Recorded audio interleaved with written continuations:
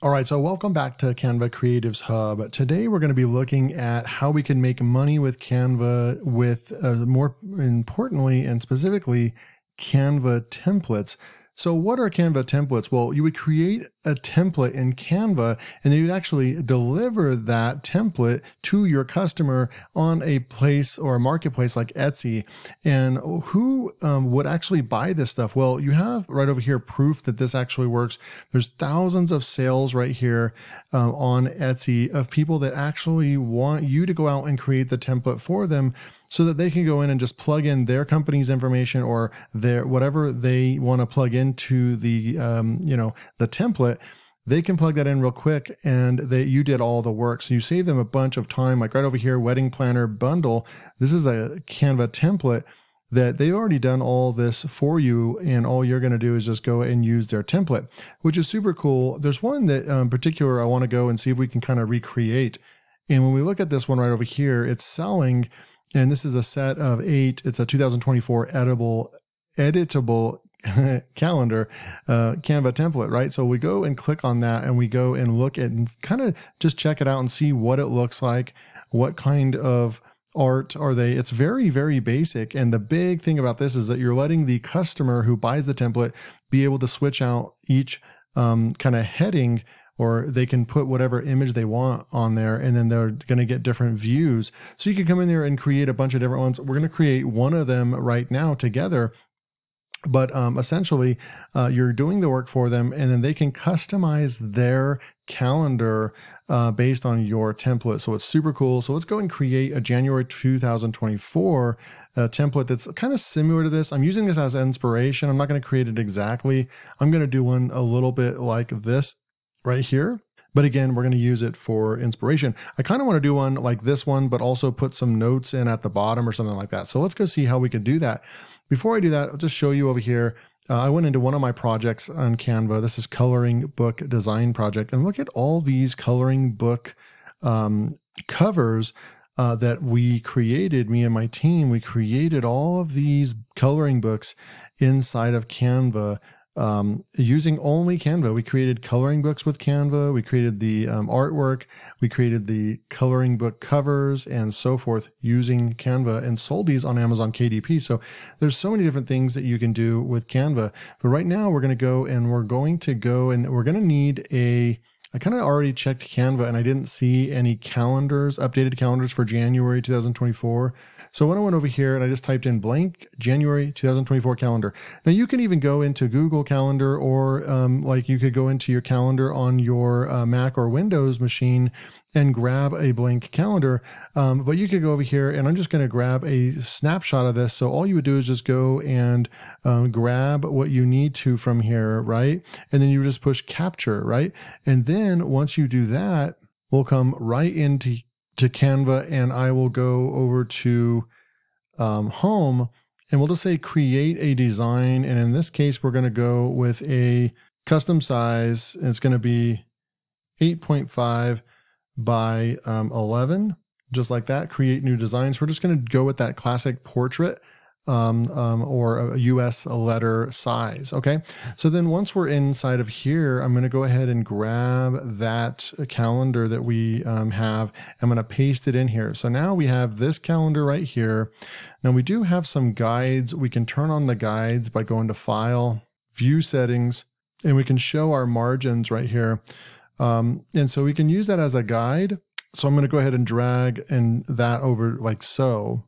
And then what I'm going to do is I'm going to go over here to elements real quick and just grab like a shape right over here. Uh, actually, we don't want this. Uh, we want to go and get one of the frames over here. I'm going to grab this one to make it a little fancier. And we're going to move this right over here. And then I'm going to move that up like so just like that. And then we're going to drag this over like that. So then now what someone can do is um, we'll come and check that out in a second. But what I'm going to do is come back over here and we're going to go to text. And then I'm going to go ahead and just say add heading. And I'm going to say January. And then I'm going to move this up right over here. I'm going to move this down a little bit so we can make the font a little bit bigger like that and then we can just kind of resize like that. So now we have our text in there and you could change this text, this font out, make it something fancier, maybe some handwriting over here.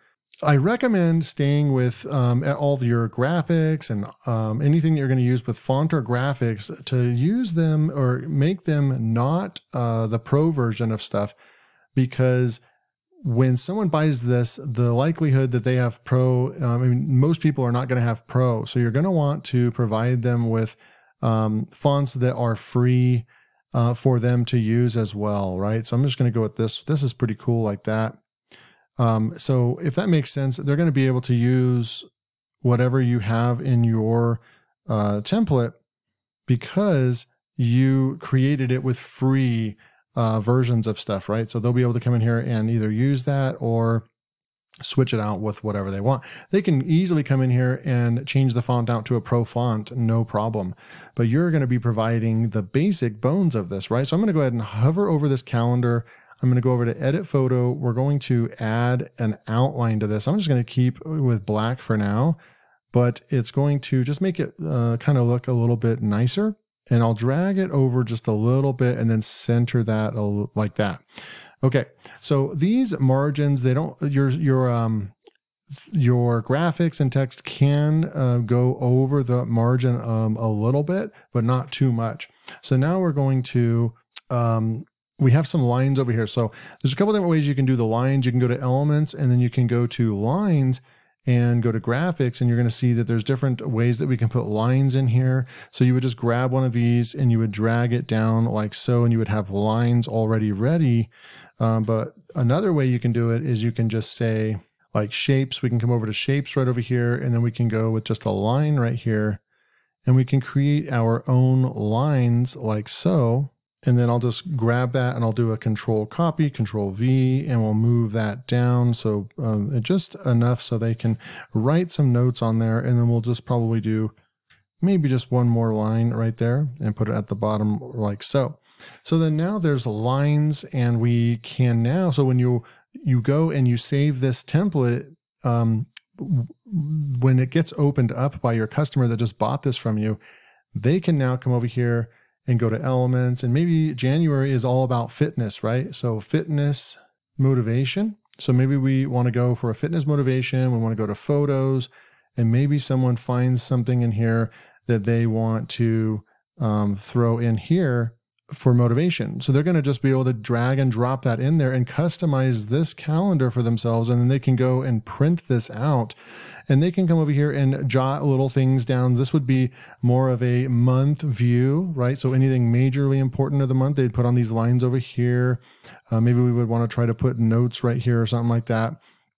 So this is just a quick start on how you can create, you know, something that looks like this um, it's very similar to this right here.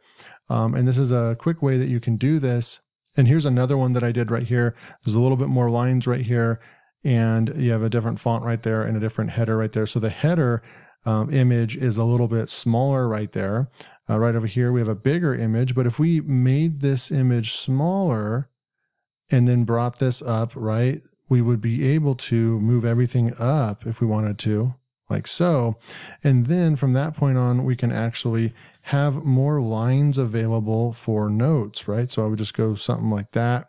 And then maybe we grab this and do copy v, control V. And then right here, I just say notes and we make that a little bit smaller like so. And then we just move this over like that. And now you have this nice template. Okay. So this image, we would delete this image. We would leave it like this. And then we would go up to the share button over here. And then we would click this right over here called template link.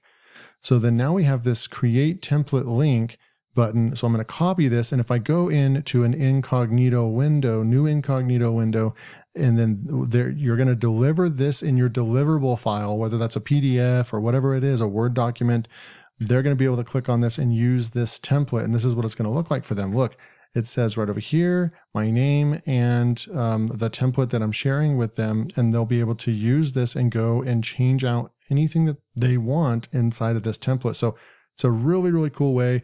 Now, obviously, you're going to want to come over here and you're going to want to create these really big, nice bundles. Like over here, this is a set of eight. So create eight really unique, cool designs. Get this up. And right now is the perfect time to do this because now you're going to be out, to be able to go out there.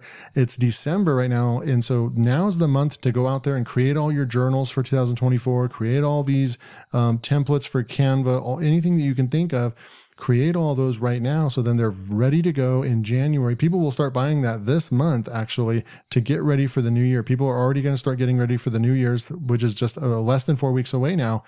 Um, and then you can go out there and start making sales on Etsy and all kinds of other platforms. So hopefully you enjoyed this uh, tutorial. And if you're not subscribed to Canva Creatives Hub, go ahead and subscribe because I'm putting out more videos like this. I'm going to show you how to actually use Canva to the best of its ability so you can use it in your small business to get graphics done for you, to get logos done for you, to get your YouTube thumbnails done for you, uh, to you know do uh, create templates and to sell graphics, sell coloring books. The the sky's the limit. Using Canva, um, you can do so many things, and you can even use it in your business and to make money from it. So go ahead and hit that like button, subscribe. I'll see you in the next video.